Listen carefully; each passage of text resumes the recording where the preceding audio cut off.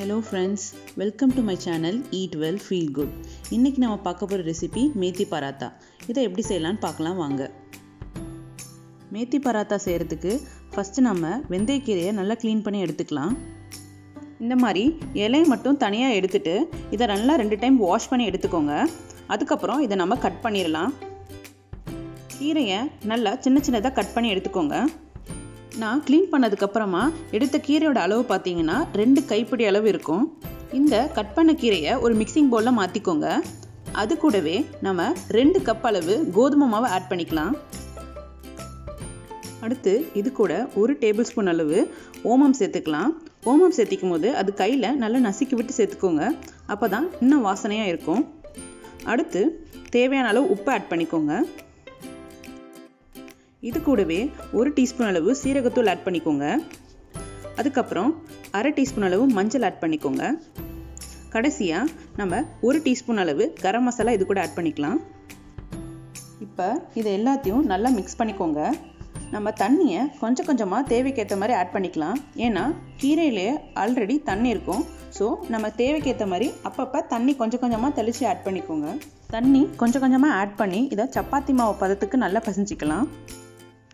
இப்போ மாவு பார்த்தீங்கன்னா பிசைஞ்சு ரெடி ஆகிடுச்சு இதை நம்ம அப்படியே க்ளோஸ் பண்ணி ஒரு இருபது நிமிஷம் வச்சிடலாம். இப்போ இருபது நிமிஷத்துக்கு அப்புறம் பார்த்தீங்கன்னா மாவு நல்லா ஊறிடுச்சு. இதை மறுபடியும் பிசைஞ்சு விட்டுட்டு இதை சின்ன சின்ன உருண்டைங்களை உருட்டிக்கோங்க. இப்போ நம்ம எடுத்திருக்க மாவளவில் நம்ம ஒரு ஒன்பது மீடியம் சைஸ் மேத்தி சப்பாத்தி செய்யலாம். இப்போ சப்பாத்தி தேய்க்கிறதுக்கு கொஞ்சமாக மாவு தூவிட்டு அது மேலே நம்ம உருட்டி வச்சுருக்க மாவு எடுத்து வச்சு தேய்ச்சிக்கோங்க. இதை நம்ம நார்மலாக எப்பயும் சப்பாத்தி தேய்க்கிற மாதிரியே மெல்லிசை தேய்ச்சிக்கலாம்.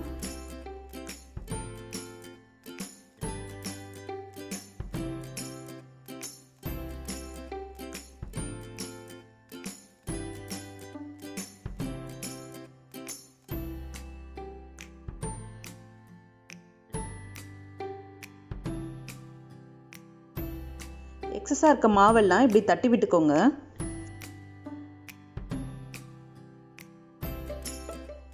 அடுத்து ஒரு தோசை பேனை நல்லா ஹீட் பண்ணிக்கோங்க.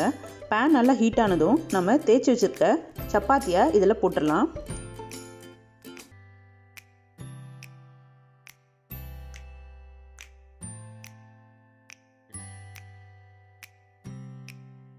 இப்போ சப்பாத்தி மேலே பார்த்தீங்கன்னா சின்ன சின்னதாக பபுள்ஸ் வர ஆரம்பிக்கும்.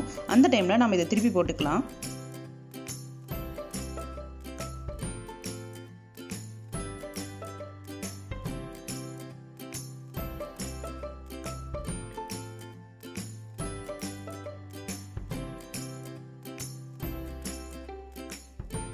சப்பாத்தியை திருப்பி போட்டதுக்கு அப்புறமா இதில் நம்ம கொஞ்சமாக ஆயில் தடவிக்கலாம்.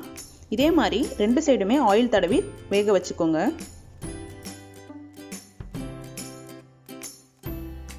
இந்த வெந்தயக்கீரையில் பார்த்தீங்கன்னா நிறைய ஹெல்த் பெனிஃபிட்ஸ் இருக்குது இது நம்மளோட கொலஸ்ட்ரால் லெவலை வந்து பேலன்ஸ் பண்ணி வச்சுருக்கோம்.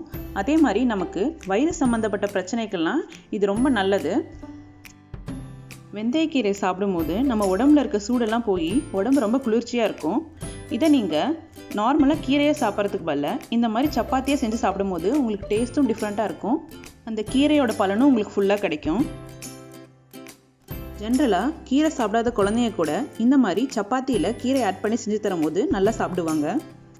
வெந்தய சப்பாத்தி பிரேக்ஃபாஸ்ட்டுக்கு ஒரு நல்ல ஆப்ஷன் இந்த வெந்தய சப்பாத்தியை நீங்கள் எந்த கிரேவி கூட வேணால் வச்சு சாப்பிடலாம்.